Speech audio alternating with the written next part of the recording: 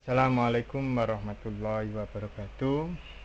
Berjumpa lagi dengan saya Bam Seguru Kita akan mendiskusikan tentang satu kasus di mana diketahui persegi panjang OABC seperti tampak pada gambar ya. Dan titik D merupakan titik tengah AO ya. CD berpotongan dengan diagonal AB di titik P ya. Jika AO adalah A ya. Jadi vektor OA adalah A.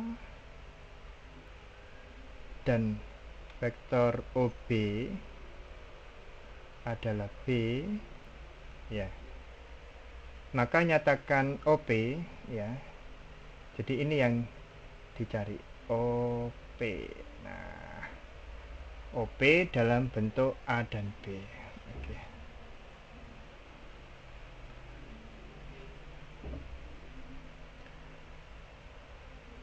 Vektor OP sama dengan vektor OA ditambah vektor AP. Nah, sekarang tinggal kita cermati berapa panjang AP. Gitu ya. CD uh, CD ini menghubungkan titik tengah dengan garis sudut. Hal yang sama juga bisa kita lakukan titik tengahnya di sini. Kita buat. Nah katakanlah ini titik P ini titik R. Nah oke. Okay. perhatikan.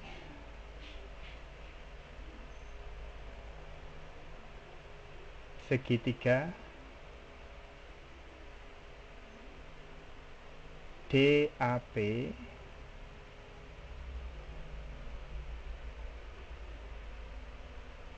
ekivalen dengan nah ini perlu dikasih katakan ini E.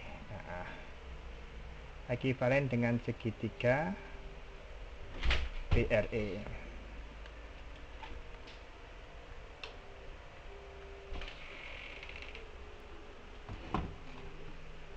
ya karena sudutnya sama. Karena BC sejajar ya. Karena OA sejajar dengan BC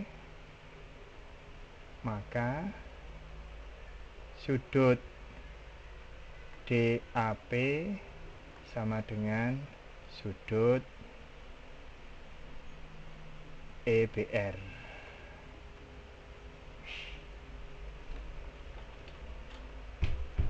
yang kedua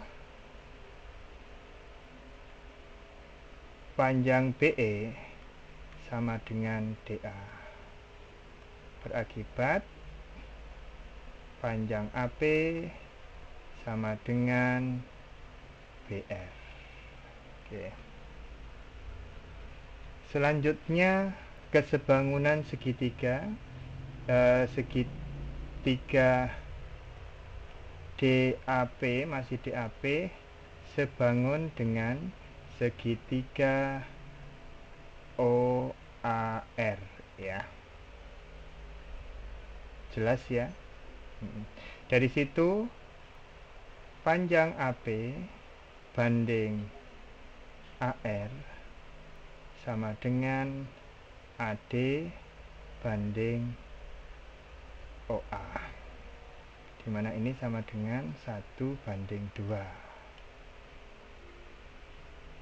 dari sini disimpulkan bahwa AP sama dengan uh, 2AP sama dengan AR kan gitu ya. Nah, dari sini padahal AR sendiri sama dengan AP plus BR ya. Berarti 2AR 2AP sama dengan AP plus PR kan gitu ya. Nah dari sini berarti AP sama dengan PR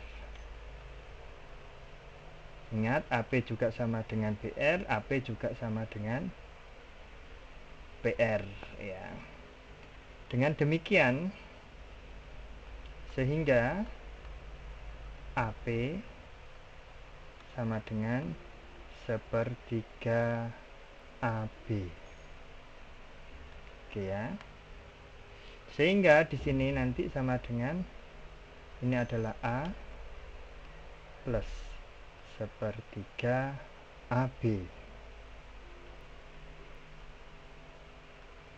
maaf ya sepertiga oke berarti sama dengan apa? A plus sepertiga min A sama dengan hmm, 2 per 3 A karena 1 dikurangi sepertiga 2 per 3 plus sepertiga B Nah, demikian vektor posisi OP sama dengan 2 per 3A plus setengah B. Terima kasih, semoga bermanfaat. Saya akhiri. Assalamualaikum warahmatullahi wabarakatuh.